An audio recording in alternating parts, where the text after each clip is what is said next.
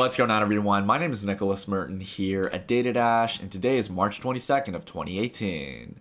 Well, folks, it's time for a daily update here on the Data Dash channel. Today we have a few key things to dive into for the update. First and foremost, as always, though, guys, we're going to take some time to look at market valuations as well as doing some technical analysis on the market leaders. But outside of this as well, we really have two key headlines to dive into. One in regards to technical analysis, discussing the inevitable death cross that many people see in Bitcoin. So I know there's many of you out there who might not know what a death cross is. We'll talk about what it is during the video, as well as its opposite, the golden cross, just for a little bit of TA information. And a lot that as well, I'll be sharing my opinion on whether or not this is an actual concern for Bitcoin or we're even going to have a death cross. And last but not least, in regards to a lot of unjustified FUD, there's been a lot of talks that financial regulators in Japan are cracking down on Binance. And not only did CZ come out with a swift res uh, response, one of the founders of Binance, but we'll see that a lot of this is unjustified FUD in the long term. So, without further ado, we've got a lot to talk about, guys. Let's go ahead and dive into the daily update and not wait off any longer. So, first and foremost, kind of talking about the tone of market, guys. We've been having a few green days in the market, many days where cryptocurrencies have had double digit rebounds in the altcoin space as well as the market leaders in the top 10. So, as we can see, we do have some coins in the green, but most are generally in the red. Some are beating up Bitcoin. However, the general trend is that we're seeing a down day in the market. So if we come down here to global market capitalization here, we can obviously see we're turning over just a tad bit over the past few days. We've lost about, I think, a general amount, if we're at $353 billion in the peak, we've lost uh, around a little bit less than $30 billion, around $25 billion in valuation from the peak of the previous run up over the past few days. So we're not really cutting off too much in the market. I mean, it's crypto, guys. You're going to have to see days where things go up 20%, things go down 5 or 10%. It's pretty standard. But that being said, it is important to see where that valuation is shifting out of. So if we go here to take a look here at Bitcoin, we can obviously see some of the altcoins are correcting. We had a lot of big leaps over the past few days, and Bitcoin is tracking up a little bit higher. Nothing too serious, but at the same time, uh, we are seeing a little bit of dominance come back into Bitcoin. Now, if we do revisit 45%, that's going to be something interesting to watch. That might mean that we've got some more downside in this market. We might have more altcoins uh, flushing out valuation. Again, there's a lot of altcoins that still are at pretty high levels. I would refer probably to a lot of players like Ripple, Ethereum, um, uh, lumens, everything like that. A lot of the kind of like uh, cross payment solutions, as well as some of the uh, kind of larger players in the space, have still yet to correct. Monero is another example. So because of this, we might have more rather than the other coins decreasing. We might have a lot of coins that were originally in the top five or top 10 of cryptocurrencies continuing to decrease. So that's the general trend I'm looking at, guys. Let's go ahead and talk about what's on everyone's mind right now. And it's kind of happen, happening live right now in regards to the rejection at this key indicator. Well, really happened a few hours ago, but basically speaking, we saw a rejection at the 200 day. Now, this is something I'm concerned about more than what I think a lot of other people are talking about and getting concerned about, which is the inevitable death cross. So we can already see that there's headlines talking about this. Bitcoin above $9,000, but the death cross still serves as a risk. So for those of you out there who don't know what a death cross is, there's really two different types of crosses when we're talking about this technical indicator. There's a golden cross, which is good news, and there's a death cross, which is bad news in regards to technical analysis, supposedly.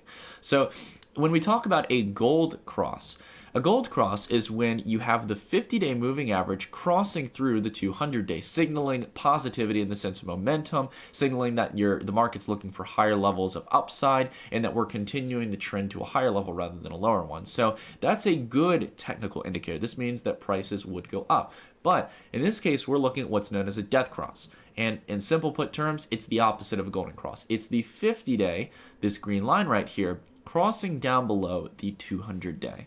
So again, we're looking at these moving averages on the daily time frame when we're talking about the golden and golden and uh, death cross. And in this case, we're getting very close to what could potentially be a death cross. It could be maybe a final nail on the coffin to knock Bitcoin down to 6,000 again to find a base around there, and then eventually, if we have a catalyst at that time, serve as a way to bring liquidity to the market and maybe you know for example like the bitcoin etf and stuff now here's the thing I'll be honest, I was thinking that we would have some resilience to get above the uh, 200 day and possibly test the death cross, but obviously we've seen some rejection there. Uh, the volume isn't really steady, and a lot of this might have been caused about what we're uh, caused by what we're going to talk about here in just a few minutes in regards to Binance.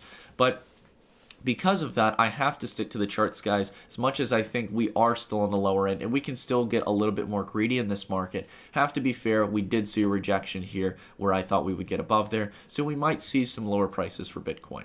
Again, these markets, guys, are kind of moving sideways right now. We have to wait for a, a serious catalyst to get Bitcoin going to all-time highs. But it doesn't mean that there isn't opportunities in the altcoin space. And we'll take a look at that as we go through. And again, if you guys want to read through this, uh, I'll leave the CoinDesk link down below. CoinDesk has uh, put a pretty decent article on the topic of the death cross, but they have also some good charts in there as well that you can look at. But as of for now, uh, until we find a good bottom on the hourly and to see if we can get above, the hourly uh, hold here basically this is what I want to see. Hold on the 200 hour moving average. If we can do that and start to form a base and curve back up I'm not going to see too much worry on this and I, I, think it could be a lot of fun but we're going to need to have some upside momentum to keep the 50 day from crossing below the 200 day even though the 200 day is flattening out right now.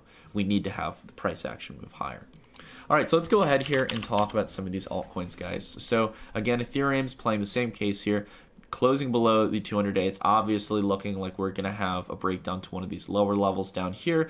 I'm remaining patient on it. I think Ethereum will provide a good buying opportunity, possibly down at one of those lower levels, but it's not there yet, in my opinion. Again, I was talking about earlier, there's some players in this market that are in the top 10 who, uh, oops, sorry, excellent, XRP. Um, there's a lot of players in this market that still need to correct. They still need to have a lower level of price action. And because of that, I'm waiting patiently. I'm not buying any of the top 10s right now because many of them are overvalued. Actually, there's a few players that aren't exactly as overvalued, but you still have a lot of players like uh, XMR BTC, Monero. Sorry, I'm having a I'm having trouble with my keyboard today, guys.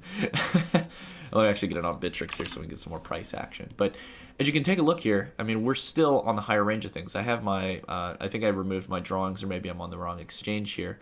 But again, we're trading on the higher end of Monero, guys. We, we have to wait till we see a general decrease in Monero before we start taking any serious buy positions. Some of these are still holding at very high levels for these cryptocurrencies. The only one that I can see that's cheap right now is Dash uh, in regards to the kind of uh, top 10 of cryptocurrencies. We can see Dash has not only come out of the falling channel here, but it's also come uh, very close to this lower end of support around 4, uh, 4 million Satoshis. So keep an eye to see if we get a correction down to that level and if we can possibly get a buy opportunity there. If this starts to curve up, though, I would definitely keep an eye on Dash as a safe security play until we possibly see the end of correction on, on Bitcoin and other altcoins in the space. So watching Dash on that. However, going back in through the top market leaders like we were looking at before, Bitcoin Cash again holding below the wedge, still not doing anything right now. There's just not any catalyst to make this go up or down. Along with that as well, Litecoin uh, still holding below that 50 day. Again, this is a perfect example, guys. I hate to say it. There hasn't been a catalyst for me to believe that Litecoin can start moving to higher Bitcoin comparative highs. And because of that, I think we're going to probably come down to at least the 200 day, at least. Um, you have a big range between where we've come from December and where we are now. And because of that, I think Litecoin, just like many other players in the market, is still on the higher end of things. That's just what I'm seeing from a trader's perspective. I take into account of probability here from previous price history. So that's what you can do a lot of times with Bitcoin comparatives. Uh, now we have seen some resilience from these players. Uh, for example, like Cardano, which had had a nice rebound the other day, as well as gained a teeny bit of volume. Nothing serious. We don't have any serious institutional buying or whales diving in to buy uh, ADA at these prices, and because of that, I'm not too eager to to say that this is the end of the sell. If we again could possibly see this roll back over if Bitcoin continues lower down, uh, and we could see it come down to 1300, uh, 1350, uh, 1,350 satoshis. But as of now, not too worried about it right now. I think this is still in a fundamental sense on the lower end of things, so I, I don't I wouldn't mind adding to these positions down here, but I'm not urgent to add any more from what I already have. Now, we have Icon here, for example, as well, who again responded very positively to the news that Bithumb was going to be listing uh, Icon onto the exchange. Now, this is good news for Icon, and I think again, like I was saying, uh, much like how we've had, uh, we continue to have a green day after I covered on the channel, along with a second day of price action, which is now faded down a little bit it's important not to underestimate that this listing is going to be big news for Icon. Just saying that we've had not only a descending wedge, guys, and technically speaking, it's good. Along with that as well, we've had the uh, Bithumb listing, and I think that you're going to have more and more positive news when we get the full altcoin cycle to the upside for Icon. So Again, with Bitcoin being low, guys, a lot of these altcoins are much cheaper than they've been in uh, not only in a long time since back in uh, December and November, but we're starting to see, for in this case of Icon, ever since it got listed on Binance here, when you account for the USD valuation, it's actually lower than where it was back here in December because of the Bitcoin correction. So you have a lot of cheap altcoins in this market that are fundamentally low.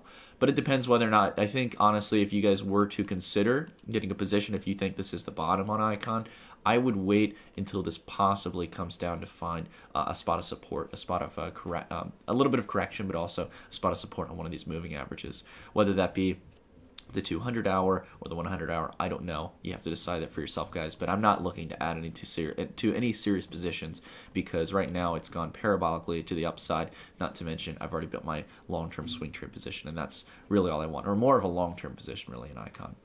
So going through here, I'll take a look at a few more because I've gotten some requests in the community, and you guys know I like to hear uh, what you guys want to see on the channel and do as much as I can. Uh, many of you have noticed that EOS did break out of the wedge we were talking about yesterday and continued to the upside. We had some serious buy side action on EOS come in out of nowhere on the hourly. And with that as well, we've had a little bit of a rollover and correction here. Now, I want to see this base out before I, I, I, buy any serious position on this, guys. Keep in mind, this has had a nice jump to the upside. I'd like this to cool off for a while, find some support somewhere, whether it be here at uh, 665,000 uh, Satoshis, which I think would be the best level for it, if that's the case, I definitely will consider looking at EOS for a position, but I want this to hold for a few days at a much more reasonable price rather than where it is now. And then along with that as well, NEO. Many people thought I'm abandoning NEO or I don't talk about NEO. I saw, I think on our Facebook group, someone was talking about it the whole thing here with Neo is that I want to see this base out on the 200 day. This was a pretty dramatic rebound off of it, but it looks like it's rolling back over.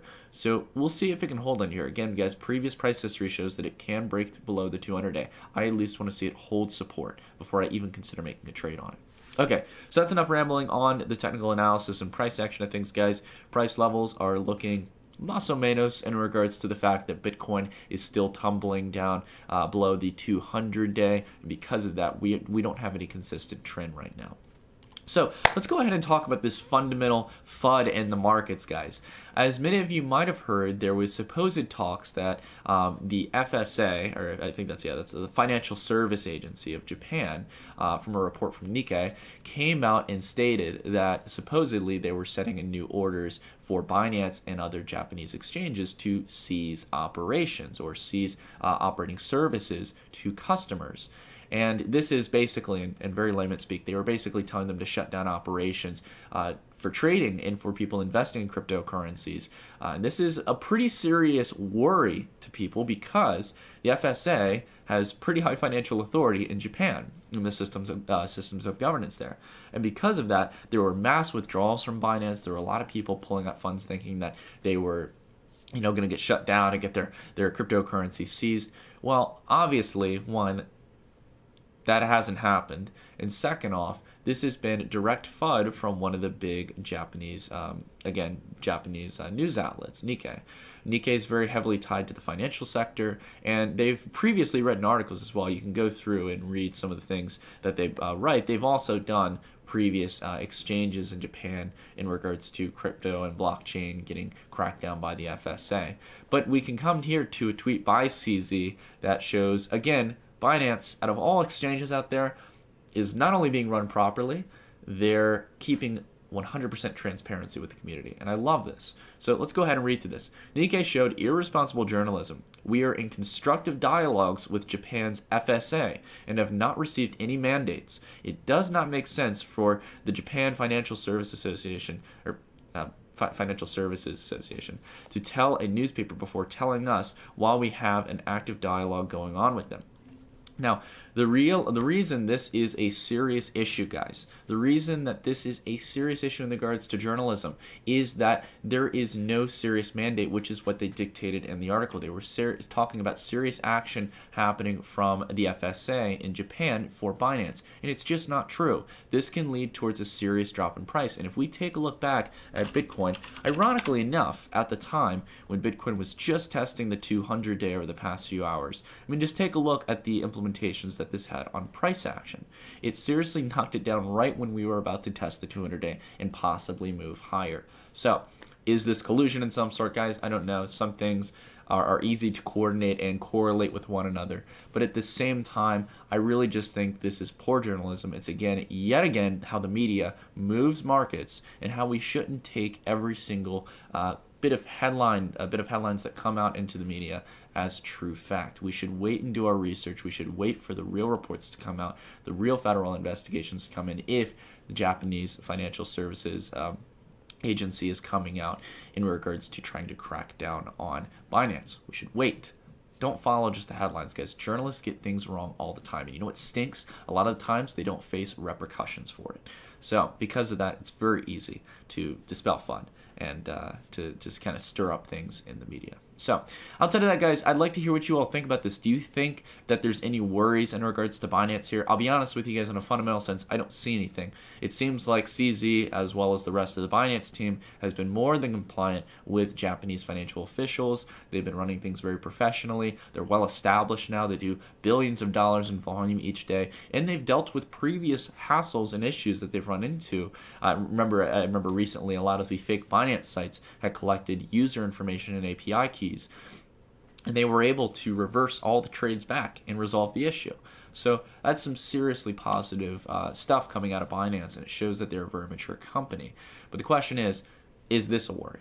I really don't see it, but I'd like to hear what you guys think down in the comments down below. And along with that as well, do you guys feel that the death cross is inevitable for Bitcoin? Do you think we're going to see a death cross on the daily with how close it is right now, or is the momentum of the 50 day going to start rebounding as we see Bitcoin test towards higher levels? Anyways, guys, that's it for the video. Thank you guys so much for watching. If you guys have anything you want me to cover on the Data Dash channel, please leave a comment down below. I'd love to hear what you guys want to see. However, outside of that, guys, I will see you all in the next video. Stay tuned.